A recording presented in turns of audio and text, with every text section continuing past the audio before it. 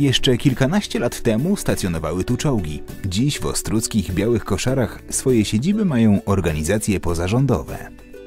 Zaniedbane garaże zmieniono w nowoczesne Centrum Użyteczności Publicznej.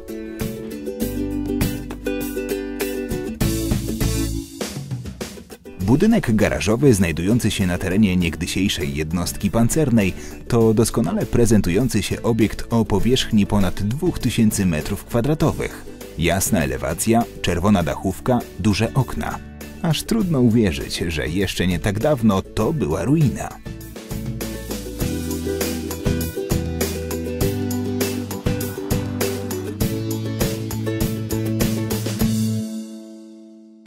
Jednym z właścicieli obiektu jest starostwo powiatowe, które uznało, że najlepszym rozwiązaniem będzie włączenie garaży w proces rewitalizacji białych koszar i zaadaptowanie ich na centrum użyteczności publicznej.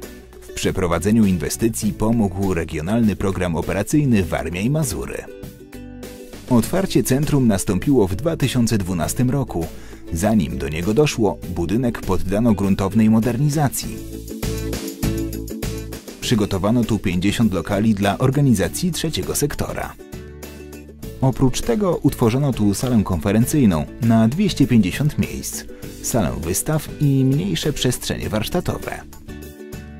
Pomieszczenia często zamieniają się w miejsca wystaw, koncertów bądź spotkań ze znanymi ludźmi, takimi jak himalaistka Wioleta Gutfrańska.